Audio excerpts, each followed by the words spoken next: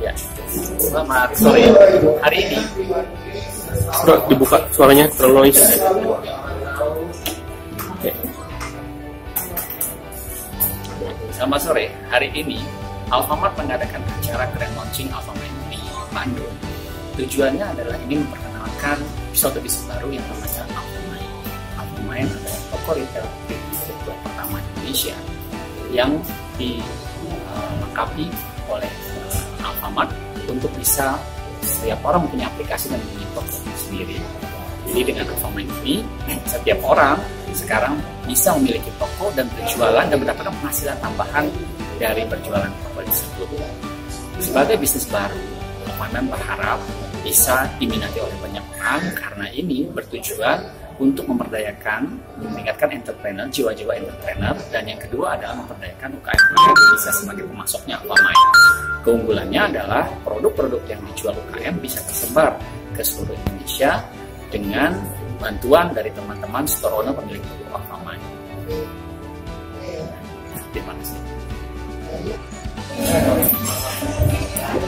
saya bergabung di Alfamart karena saya ingin mengembangkan eh, produk saya karena saya salah satu eh, KM.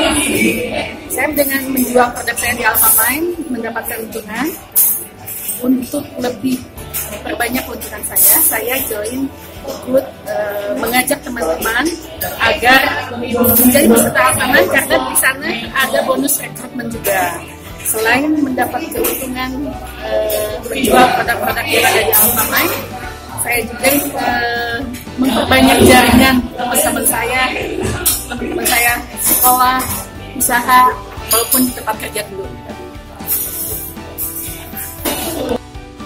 Ya.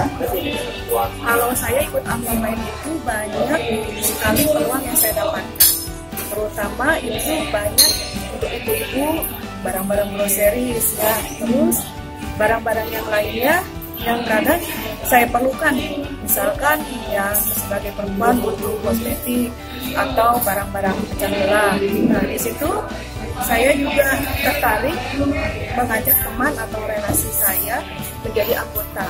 Dengan mengajak mereka saya mempunyai peluang juga mendapat keuntungan. Keuntungannya itu yaitu dari komisi 50 ribu.